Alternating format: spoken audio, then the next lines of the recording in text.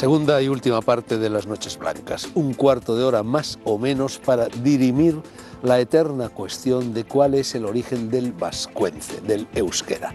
Un enigma que ha sido objeto de discusión durante varios siglos, por no decir desde la noche de los tiempos, y que no es asunto por meramente académico baladí, sino que afecta a aspectos muy significativos de la historia de la España antigua y, por lo tanto, también de la actual.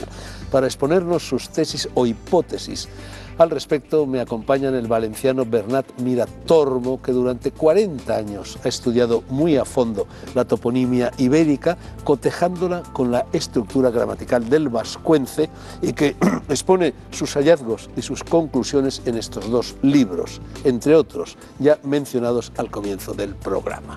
El origen ibero-tartésico del euskera y forma de interrogante, ¿son o no son los vascos iberos. Los dos han sido publicados por Visión Net.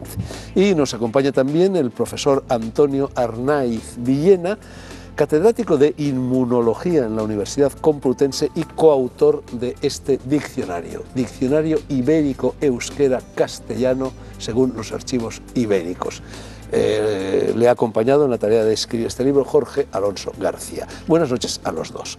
Caminos convergentes el del uno y el del otro. Lo digo porque investigación filológica toponímica en el caso de Mirar Tormo e investigación genética etnológica en el caso de Antonio Arnay. Dos maneras muy distintas de arrojar un doble yo, de luz. Yo, me cambié, yo me cambié a la lingüística eh, al cabo de un tiempo y las investigaciones son totalmente convergentes.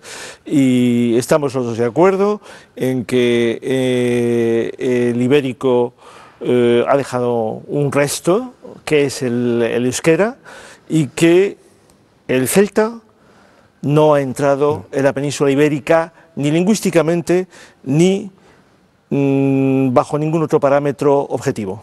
Bueno, esto es la vieja tesis de Humboldt, arrinconada por Antonio Tobar y Coldo Michelena, que se empeñaron en, 1940 que la ¿eh? lengua vasca y por lo tanto también quienes la hablan era una especie de isla lingüística y genética. Sí, era algo caído del cielo. Eh. No, bueno, pero esto, esto eh, nosotros eh, lo hemos, em, em, hemos, em, eh, hemos mirado la, lengua íbera y hemos mirado las lenguas de alrededor del Mediterráneo y entonces hay un substrato idéntico, no solo en las lenguas vivas y muertas al lado del Mediterráneo, sino también en el abajo, en el apache, los atabascos americanos, etc. Entonces, haciendo una eh, metodología fonética de sonidos y semántica, nosotros hemos visto que coincidían los, eh, los eh, significados de, las mismas, de los mismos fonemas en, en el lenguaje religioso funerario del de, el neolítico y anteriormente. Bueno, por lo pronto, ¿cuáles son las fuentes eh, para estudiar todo esto? Fundamentalmente la toponimia y la epigrafía. Principalmente. No hay más. Y, aparte de esto, por ejemplo, Tobar fue, fue principalmente el que más influyó para que estas ideas no se desarrollaran como se debían de desarrollar. Él se apoyaba mucho en, en Mayans, y era un valenciano que el tío no tenía ni idea de vasco, el tío sabía muy bien griego, y sabía muy bien latín. Primero, en los orígenes del español, creía que el, que el, español derivaba, derivaba primero del griego, después del latín, y Tragia, que era un, un, señor que estaba metido en parte por él para, para, discutir con Astarloa sobre, pues este tampoco tenía mucha idea. Y a Unamuno, que era un hombre muy imparcial y muy inteligente, dijo también, dice sobre Tobar, dice Tobar era muy flojo, muy flojo en, cómo iba el tío a, ver los orígenes del español. Si a los orígenes del español le quitas el alcaloide vasco, el español no tiene nada. Aparte de eso, aparte de esto, estaba también... El, ¿Cómo que no tiene nada? No, no tiene, niegas que sea una lengua romance. es que el, problema que había, no, el problema que había de la lengua romance es la siguiente también. Por ejemplo, para Unamuno, él, Unamuno veía lo mismo que veía Michelena y que veía Astarloa y que veía Moguel Lo que pasa es que Unamuno era, era profesor de griego y para él todo toda, toda palabra que fueran igual tanto en, tanto en ibérico como en, como tanto, tanto en, vasco como, como en latino castellano, para él eran préstamos de estos al vasco. Y sin embargo, los demás, los, los, los, demás, la idea que tenían tanto Moguel como Astarloa, como Hervás Panduro y como Humboldt, era que el, el, el latín no era una lengua matriz, que era una mezcla de céltico, una mezcla de, de céltico, griego, etrusco y cantábrico. Eso a Tobar nunca le entró en la cabeza. Para él era impensable que el... Que el pero es que el... el pero claro, tú, eh, eh, eh, tú en, en, esta lista de palabras. Eh, haces un cotejo entre palabras valencianas, palabras sí, eh, vascuences, palabras castellanas, claro, muchas de ellas, es decir, que son, son palabras latinas. Cuando dices corda, claro, cuerda, claro, pero es que, sí, claro, claro palabras latinas pero incluso, que es mear, pero bueno, incluso en italiano se dice pisciare sí, también. Sí, hombre, pero si es que el problema, el problema que arranca no es que, el, no es, es que había dos concepciones diferentes. Una concepción era que el latín y el griego habían influido en el vasco, y la otra era que el, que el vasco, a, través del etrusco, había influido en el latín. O sea que el latín debía mucho al vasco. Por esto no se ponían, no se ponían de acuerdo y era muy enrevesada la, muy enrevesada la cosa. todas esas palabras que tú dices que tienen origen vasco, luego pasan al francés, pasan al italiano a través del latín. Pero si es que en, en, la toponimia, y sin la toponimia, en el lenguaje, por ejemplo, de aquí en, en el U significa agua en vasco. Pero es que en francés O es agua también, y, una, y un, una U y una O son, son equivalentes en toponimia. Y, y, aparte de que son equivalentes, el francés en gran parte desciende también. El vasco ha influido mucho. El sustrato que hay, el sustrato que hay mediterráneo, eso es, es prácticamente era, era el antiguo, el antiguo, la antigua lengua que había los etruscos, los jónicos, no los, no los dóricos, los jónicos, los etruscos y los íberos y los bereberes eran la misma gente, igual que, igual que los habitantes del norte de Inglaterra antes de la llegada. Cuando tú dices, como decías hace un momento, que sin el alcaloide del euskera el castellano no existiría, bueno, lo mismo lo puedes decir del francés, el italiano. Sí, pero él lo, digo, bueno, es que es diferente, es diferente porque el castellano tiene las vocales. Bueno, se han nutrido de palabras latinas que procedían, en tu opinión, de Mira, por ejemplo, la palabra, la palabra ardo en vasco es vino. Y la palabra ardores, ¿de dónde proviene? Si tú bebes mucho vino, tienes ardores. Y está en escurar. En valenciano, escu, escurar quiere decir limpiar los cacharros de la cocina. ¿Y cómo limpia los cacharros de la cocina? Escu, ura y, y ar.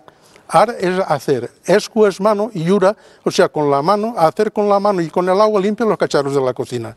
Su calde, en, vasco es cocinero, y sin embargo un suc, un suc de anguiles que decimos que hay en Valencia, la parte de la albufera, es un guiso de anguilas que se hacía con fuego. La palabra sucarrat, que en vasco es sugarraldi, pero aldi quiere decir tiempo, entonces sucarrat y sugarraldi es la misma palabra, quiere decir que está quemado. El famoso RH negativo.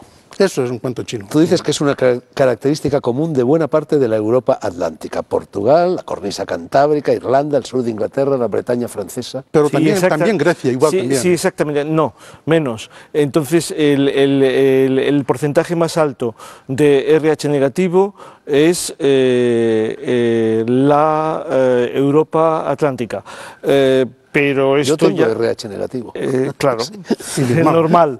Esto, pero que, bueno, eso ya quedó claro, quedó claro y dejó de hablarse de ello a mediados de los 90. Nosotros intervinimos, nosotros intervinimos en ello. lo, que quería, lo que quería decir era concretamente el problema de que, que eh, o sea, aquí el íbero, eh, eh, el íbero tenía un resto que era el euskera. El euskera, todos los euskéricos, todos los, todos los habitantes de, de, de, Euskal Herria, todos los habitantes de España, todos los habitantes creían hasta 1940 que el, el vasco era lo que se hablaba en toda Iberia.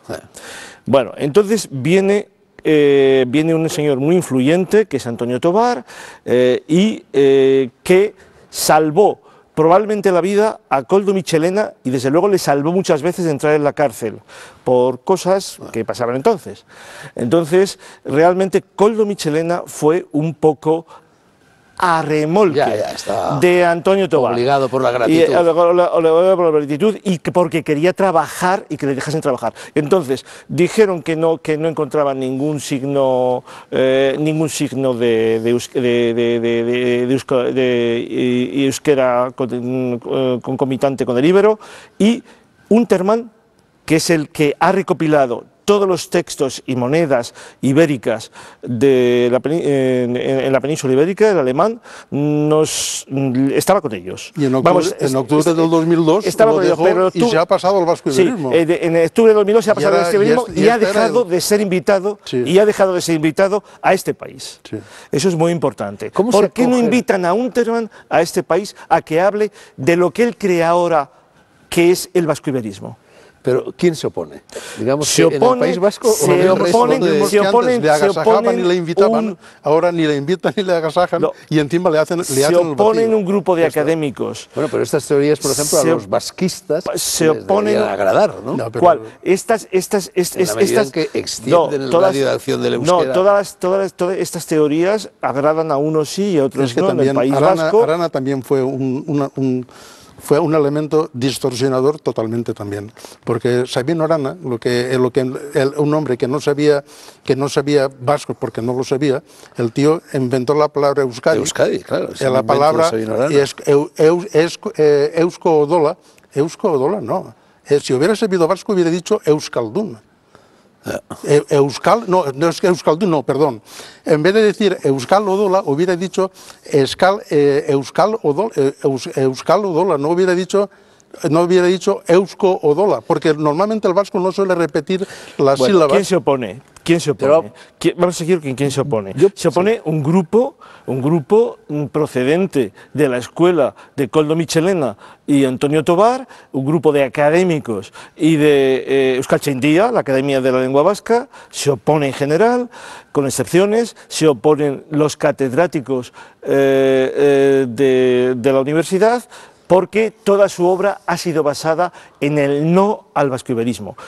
Como, Bueno, yo lo del RH negativo te lo preguntaba porque también, ojeando tu libro, es decir, eh, habéis estudiado el ADN y habéis Sí. encontrado una serie de similitudes genéticas Sí. que parecen demostrar que Gran Bretaña e Irlanda, Sí. en contra de lo que siempre se ha pensado, estuvieron habitadas durante miles de años por un único pueblo mayoritario al que se fueron incorporando minoritariamente los celtas, los romanos, los anglos, los sajones, los vikingos y los normandos. Eso, Bueno, de ser y cierto, eso está- Iberia- Iberia- el nacionalismo irlandés. Sí, eso está aquí, por Iberia, está aquí Iberia, Iberia es un refugio interglaciar. Al acabar, el máximo pico glaciar fue hace 18.000 años, cuando empezó a retirarse los hielos, la gente tanto por marcadores eh, eh, mitocondriales, como mar- marcadores del cromosoma Y, como marcadores genéticos que quiera escoger, eh, eh, se ha visto cómo hubo un- una, una inmigración de los sitios calientes, o sea, de Iberia, que es relativamente caliente, hacia el norte. O sea, es decir, toda la cornisa eh, europea, atlántica, está colonizada por gente que estaba refugiada aquí. Pero entonces digamos que lo ibérico es, no sé, un poco como el mejillón cebra, vamos, Pues coloniza toda Europa. Era ¿no? prácticamente el, el substrato que había en toda Europa, norte de África y todo, toda Europa occidental, gran parte de Asia, Oriente Medio, y aparte de eso también los celtas. Cuando hablamos de celtas, hay también ahí una confusión muy grande, porque se está hablando de dos clases de celtas. Unos, para mí, lo que dicen aquí el, el céltico, que era lo que intentaron intentar el, el- el nombre de Briga, darse cuenta para averiguarlo, lo que, estaban, lo que estaban haciendo entonces es que, mira, por ejemplo, los irlandeses, los escoceses, estos están emparentados lingüísticamente con los españoles y étnicamente también. Entonces, el celta, como tal, lo que dicen el celta, que se habla en Gales, que, que se habla en Gales y el que se habla en Bretaña, aquí en la península ibérica no existe toponímicamente. Y, y si hubiera existido, la toponimia perdura, es, es, la- la- por, por mucho tiempo. Sí, la toponimia es el, el eso elemento está ahí desde- que desde- más dura desde un en el seno de una claro. lengua, claro. Y Caro, Caro no Baroja existe. admitía la posibilidad, decís, de, que, de traducir recurriendo al vascuence algunas frases cortas de la lengua ibera. Sí, pero eso sabes por qué Sí. fue. Eso fue porque, porque Domingo Fletcher lo engañó.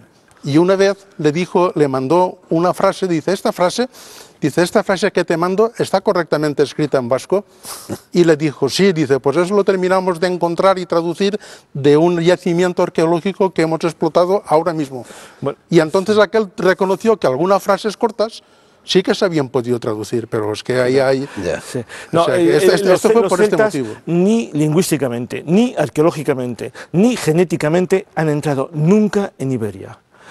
Los, los celtas Hallstatt y Latén. Y luego se ha mistificado en la Edad Media el término celta de tal forma que ya no sabemos lo que es el término celta. Aquí nunca ha habido celtas. Y esto ahora mismo prácticamente todo el mundo después de los estudios genéticos está de acuerdo. Sí ha habido escultura celta, pero gentes celtas, cultura de Hallstatt y Latén, pero muy poco. ¿Conocéis la llamada estela de Clunia? Sí. En la estela de Clunia había una imagen de un individuo, eh, se, eh, se destruyó, pero hay un dibujo hecho por Erro Azpiroz que se conserva, se ve un individuo armado con un escudo y con una espada que está recibiendo un toro de Lidia en la actitud característica de embestida, de acometida del toro de Lidia. Y debajo pone Nibe Yarnari, que es una inscripción ibérica que por lo visto, por cotejo con el vascuence, se puede traducir como matatoros. Esto sería una de las piezas de convicción ¿no? del, del eusko-iberismo. Totalmente. Sí, es una de las piezas de convicción del, del, del eh, de todas maneras, eh, es muy importante decir esto de los celtas porque eh, todavía siguen celtíberos y tal. Más, vamos a, más, de un gallego va a enfadarse. No, hay un problema, hay un problema con el tubal, por ejemplo.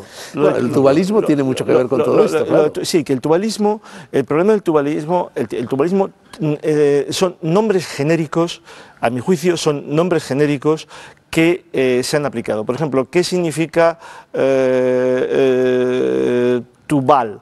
Tub es topetazo en íbero, en vasco, es topetazo o, gran, gran golpe y al potente. Es una persona muy potente que da fuera. Gerión. Gerión es un rebaño bueno alguien que tenía un rebaño bueno. O sea, que son nombres genéricos que han infiltrado, como en la Biblia. Y un rey de, de, Tartesos también. Y lo, y, cuando, y, lo, que dice sobre los, sobre los gallegos, los gallegos, el problema que hay es que eso del Celta de Vigo, aquí se ha dicho celtas, primero, primero estuvo San Isidoro de Sevilla, les hizo creer los gallegos que eran de origen griego. Después cambió y empezaron a haber celtas por todas partes. Pero los celtas, yo he visto la zona, la zona que hay. La zona que mejor refleja la toponimia, la toponimia ibérica y vasca es la gallega. ¿Por qué? Por una sencilla razón. Porque es que resulta que en Galicia hay tres veces más, más caseríos y más, y más microtoponimia que en el resto de España. Y que me busquen ahí y ahí tienes Lugo, tierra alta, Vigo, sobre el río, tienes Arrosa, que es una palabra totalmente vasca, tienes Bayona, que es otra palabra, Bayona, junto al río, y en Mondariz, y empiezan a, buscar ahí, y, pero ahora, lo que pasa es que si el, problema que hay es que, es que ellos están identificados con los irlandeses y con los escoceses, y es verdad, porque es que son la misma gente. Igual que, igual que, España. Y aquellos son la misma gente, además con la misma lengua. Pero aquí se dijo celtas, a lo que en realidad, a lo que, para mí la palabra celta yo la, pondría a los, a, los galos, a los, a, los, de Bretaña y a los galeses sobre todo. Yo quería decir una última cosa sobre, sobre, la, palabra celta. Yo diría que es una característica genérica y, y que puede ser en íbero, en vasco, que el toy. Que el toy, hollín se pintaban, se pintaban con hollín cuando iban a la guerra y la gente que se pintaba con hollín cuando iba a la guerra probablemente era llamada celtas, porque hay celtas por todos los lados. Y, Caballeros, no tenemos tiempo para más. Expuestas quedan las opiniones de Bernat Miratormo y Antonio Arnaiz Villena a propósito del origen del vascuence. Habrá quien esté de acuerdo con ellas y habrá, supongo, quien no lo esté. Se trata, en cualquier caso, de un asunto que levanta pasiones y siempre ha dado origen a no pocas controversias. Seguirán. Mi gratitud que hago extensiva a todos ustedes. Buenas noches.